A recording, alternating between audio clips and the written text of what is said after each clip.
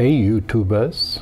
Today I would like to show you the King Regula 1B. The Regula 1B was a series of 35mm cameras made by the King Company in Germany between 1949 and 1953. Later the company was named Regula Werk King and Bauser. The first camera King ever made was the Regula one. The followed models shared the same basic body design, but each one varies with different lenses, shutters, and other parts like the winding knobs and frame counter. Features the models have in common are a small but heavy duty made out of aluminum body, usually covered with a hard wearing nylon leatherette. A manually cocked Prontor Vario or Synchrocompur shutter. A triplet lens usually made by Steinheil and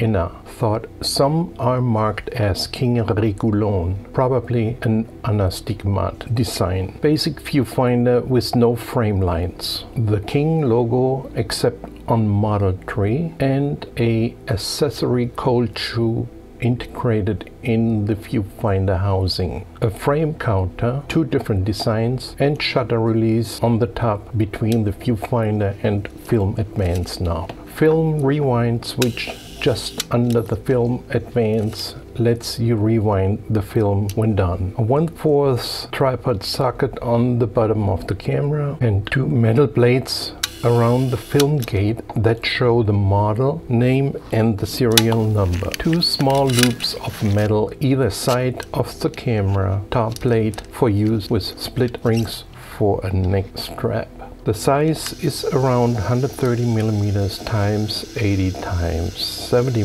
millimeters and they weigh around 350 400 grams. The film counter will only count when there is film in the camera. This is via a two-step wheel that sits in the film perforations. It is also connected to the shutter and will prevent the shutter from firing until the counter has increased by one, which is called double exposure prevention. The King Regula 1B shown here has a Steinheil München Cassar 2.8 with 50 millimeters and BL stands for coated lens and has a front focusing lens which is built in in a Prontor S shutter with a self timer and with the speeds from 1 of a 300th of a second down to a full second and B. An additional shutter release is on the lens barrel. This camera came also with an original heavy duty real leather case